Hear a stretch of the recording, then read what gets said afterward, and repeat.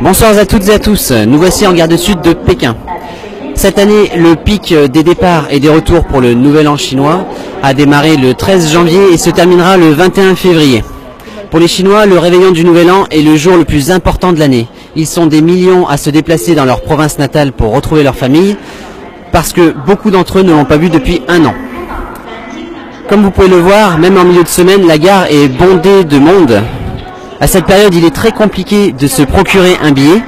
Nous avons donc demandé à deux voyageurs comment se sont-ils procurés leur billet de train. Niha.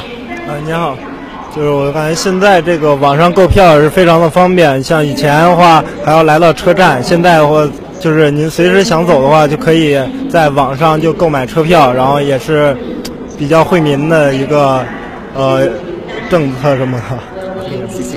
现在支付宝也很厉害，然后中国现在也很强大，谢谢。 Donc en fait, euh, ils ont eu de la chance, ils ont utilisé une application internet euh, spécifique pour chercher des billets de train. Et euh, donc ils n'ont pas eu besoin de s'y prendre plusieurs mois à l'avance, pardon, comme la plupart des gens. Grâce à une application internet, ils ont pu avoir donc leur billet de train euh, en dernière minute, ce qui n'est pas le cas pour tout le monde. Donc voici un exemple euh, de chinois. Comment se débrouille-t-il lors du jour de de l'an euh, chinois?